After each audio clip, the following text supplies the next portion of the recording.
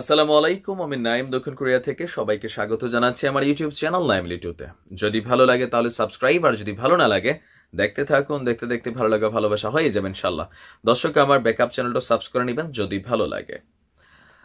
একটা ভালো সংবাদ আনছি, আলহামদুলিল্লাহ শুনে আপনাদের খুব মন ফ্রেশ হয়ে যাবে। আর এই কাজটা এমন একটা কমিউনিটি আর এমন একটা দেশ করছে, যেই কাজটা, দায়িত্বটা আসলে আমাদের ছিল। তবে আল্লাহ রাবুল আলমিন যখন কোনো কিছু ঘটানোর চিন্তা করেন যদি ঘরের মানুষ দিয়ে না হয়, তাহলে বাহিরের মানুষ দিয়ে করান। মন্দের ভালো সমস্যা কি? ভালো হোক, কাজ হোক, এটা হচ্ছে জরুরি। দর্শক, ইসরায়েলি বাহিনী বা ইসরায়েল নামক দেশটার বিরুদ্ধে আজকে দেখেন সারা বিশ্বের মুসলমান দেশটা, আমাদের যে দেশগুলো আছে সিস্টেমিকলি একটা দৃশ্যত অ্যাকশনে যাচ্ছে। আর এগুলা কোনো কার্যকর অ্যাকশন না যেগুলোতে ইসরায়েল আমাদের পাত্তাই দেয় না, বিষয়টা হচ্ছে এইটা। আর মুসলমান শক্তিধর প্রধান, যেমন সৌদি আরব, কাতার, দুবাই হ্যাঁ ইরানের বিষয়টা আলাদা। তুরস্কের বিষয়টা আলাদা বাট বাকি যে দেশগুলো দেখেন মিশর, সিরিয়া, জর্ডান এই যে আরও কিছু দেশ আছে, সুদান এবং আমাদের বাংলাদেশ আমরা আসলে ওইভাবে কার্যকর কোনো পদক্ষেপ ইসরায়েলের বিরুদ্ধে ওইভাবে নেওয়ার সুযোগ নাই। আর বাংলাদেশের বিষয়টা হচ্ছে ইসরায়েলের সাথে আমাদের কোনো আভ্যন্তরীণ লেনদেনও নাই বা কূটনৈতিক কোনো সম্পর্ক নাই।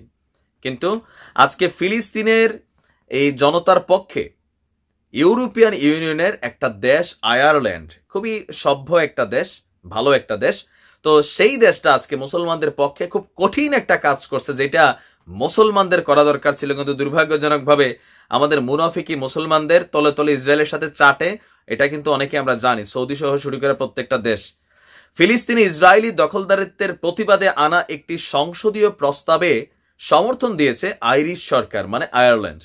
প্রস্তাবটি পাশ হলে আয়ারল্যান্ডে নিযুক্ত ইসরায়েলি রাষ্ট্রদূতকে বহিষ্কার এবং ইসরায়েলের উপর অর্থনৈতিক, রাজনৈতিক ও সাংস্কৃতিক নিষেধাজ্ঞা আরোপ করা হবে। এই ক্ষেত্রে আয়ারল্যান্ডেই হতে চলছে ইসরায়েলের সঙ্গে সম্পর্কযুক্ত ইউরোপীয় ইউনিয়নের প্রথম দেশ, যারা ইসরায়েলি দখলদারিত্বের বিরুদ্ধে ব্যবস্থা নিতে চলছে। খবরের সূত্র হচ্ছে, আন্তর্জাতিক গণমাধ্যম আল জাজিরা থেকে শুরু করে বেশ কিছু পত্রিকা। গত মঙ্গলবার আইরিশ পররাষ্ট্রমন্ত্রী সাইমন কোভেইনি বলেছেন, বিরোধী দল সিন ফেইনের আনা প্রস্তাবটি আয়ারল্যান্ড জুড়ে অনুভূতির গভীরতার সুস্পষ্ট সংকেত। ফিলিস্তিনি ভূমিতে ইসরায়েলের বসতি স্থাপন প্রসঙ্গে তার স্পষ্ট মন্তব্য, এটি কার্যত আত্মসাৎ, জুলুম এবং ফেতনাবাজি। ফিলিস্তিনি ভূমিতে ইসরায়েলের দখলদারিত্ব নিয়ে ইউরোপীয় নেতাদের মুখে আত্মসাৎ শব্দের উচ্চারণ এটিই প্রথম বলে মনে করা হচ্ছে।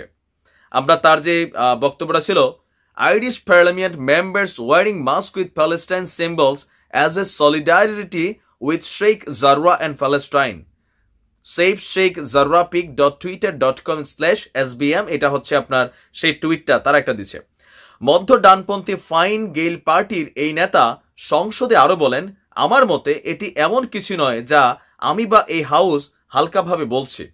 এমনটি করা প্রথম ইইউভুক্ত দেশ আমরা। এটি অবশ্যই ওইসব ইসরায়েলি কর্মকাণ্ড ও তার প্রভাব সম্পর্কে আমাদের যে বিশাল উদ্বেগ রয়েছে, তার প্রতিফলন। মঙ্গলবার আইরিশ আইনপ্রতাদের অনেকেই ফিলিস্তিনিদের প্রতি সংহতি জানিয়ে ফিলিস্তিনের পতাকা বা চেকার্ড ক্যাফায়া নকশার মাস পরে সংসদে গিয়েছিলেন।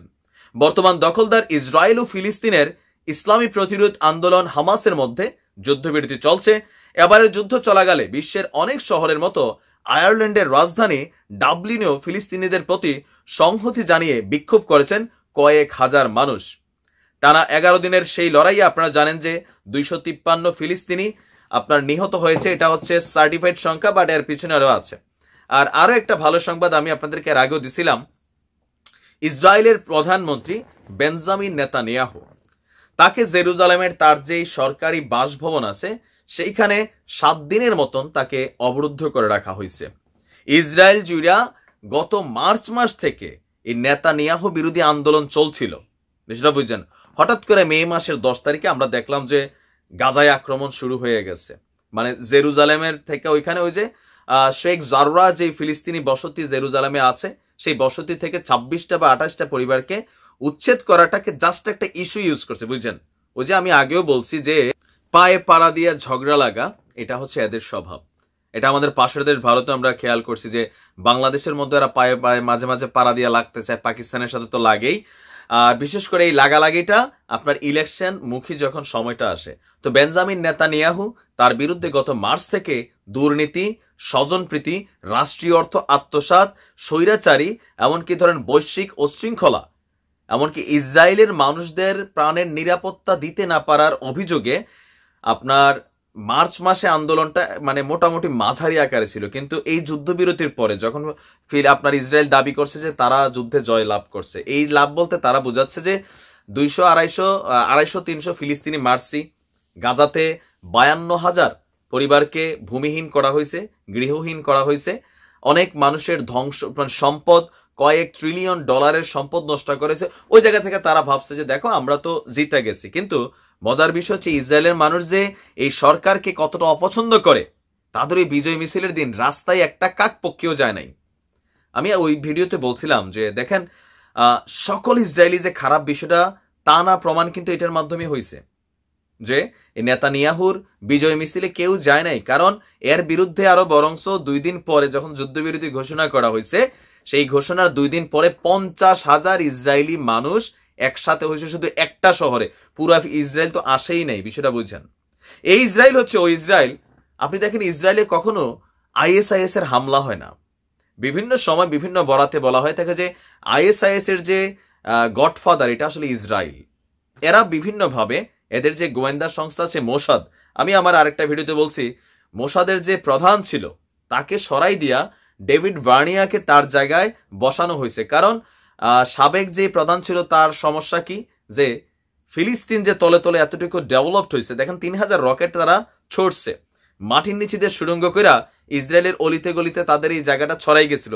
এই যে কাজগুলা করছে, সেটা সম্পর্কে মোসাদের কাছে কোনো তথ্য ছিল না। আর এগুলা না থাকার কারণে নেতানিয়াহু ওই লোকরে সরাই দিয়া সম্ভবত ডেভিড ভার্নিয়া, যাকে এই মুহূর্তে মোসাদের প্রধান বানাইছে। বিষয়টা বুঝতে পারছেন?